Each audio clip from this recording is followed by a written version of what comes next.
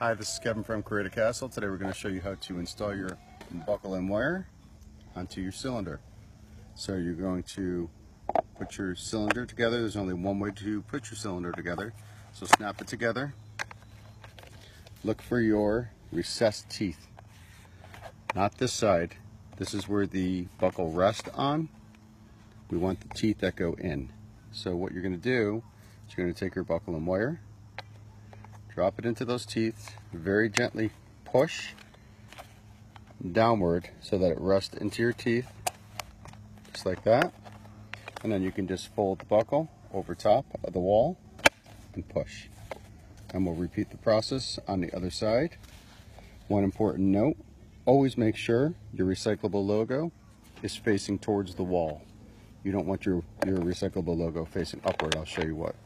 I mean by that. This is improperly installed. You don't want that on the outside. You want the logo facing the wall so that you have a nice easy grip to get underneath of it.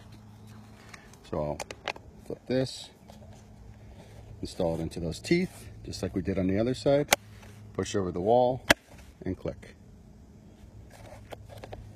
Now there is also another method to installing the wire and buckle. You can pre-fold your bar, just like this.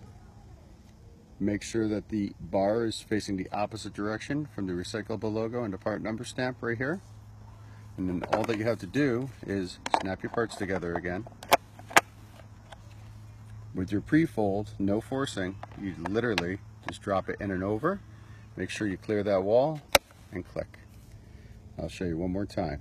bar goes opposite direction from the logo, as you'll see. Again, bar goes into the recessed teeth side. And then you just drop it in, clear the wall, gently pull up, and click. And that's how you install your buckle and wire on any of our cylinders.